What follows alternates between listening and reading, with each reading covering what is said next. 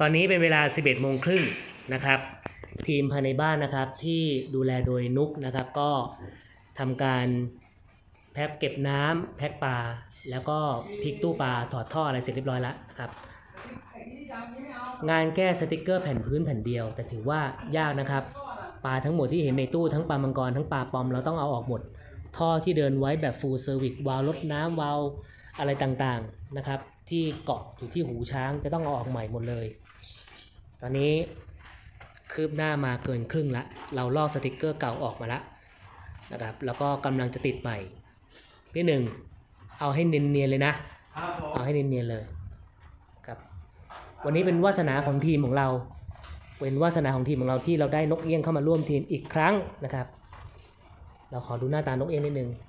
สวัสดีครับ ฟื้นฟื้นแล้วใช่ไหมครับ โอเค นะนกเอี้ยงเข้ามา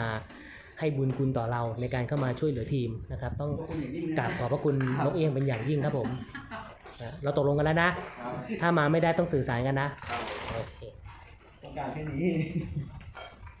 ทุกคนน่ะมาไม่ได้สื่อสารแต่อย่าแต่บอกล่วงหน้านิดนึงนะอย่าให้กูตื่นเต้นอย่าให้พี่ไพศาลเขาตื่นเต้นอย่าให้ลูกค้าตื่นเต้น มาไม่ครบเหลือสามคนยกตู้ก็เยี่ยวแตกเลยโอเค อันนี้คือ งานภายในนะครับ รับผิดชอบโดยทีมนุกนะครับเดี๋ยวพาไปดูอีกทีมหนึ่งข้างนอกนะครับ ตู้ปลา 96 นิ้ว 2 ชั้น รับผิดชอบโดยทีมศิลานะครับหัวหน้าทีมของเรา ใบนอกนี่ก็ทำ overflow แบบ full service นะฮะเราทำงาน 2 งานพร้อมกันในบ้านเดียว เป็น full service แบบกรองข้าง น้ำดีน้ำทิ้งลม หล่อแน่นอนครับ ตอนนี้ให้ศิลาทำตู้ใบบนก่อน วันก่อนทีมใหม่ทีมใหม่คนแบกตู้เข้ามา รองพื้นโฟมใหม่ แล้วก็เปลี่ยนสติกเกอร์ตู้ล่าง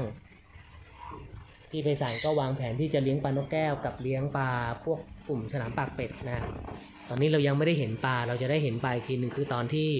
เราเสร็จงานนี้แล้ว วันนี้มากันเต็มทีมเลยครับ NC Full Team Service NC มาด้วยทั้งหมด 7 คนนะครับ2คัน7คน2คัน คาดหวังว่าฟ้าจะไม่มืดยกเว้น น้ำไม่พอถ้าน้ำไม่พอนี่เติมที่แตกเลย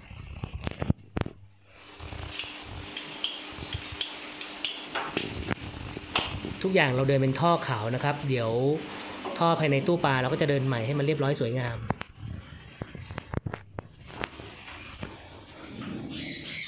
เรามี 2 งานนะครับ เดี๋ยวประมาณสักบ่าย2เนี่ยทานข้าวเสร็จเรียบร้อยแล้ว NC จะให้นุกกับนกเอี้ยงนะฮะแยกทีมไปทำงานให้พี่โจที่บ่อปลาทองนะครับ สายไหมกองตัวเล็ก7คูณ35 ส่วนของพี่ไพศาลงาน 2 ตู้นี้เราจะใช้กอง8คูณ44 นะครับ โอเค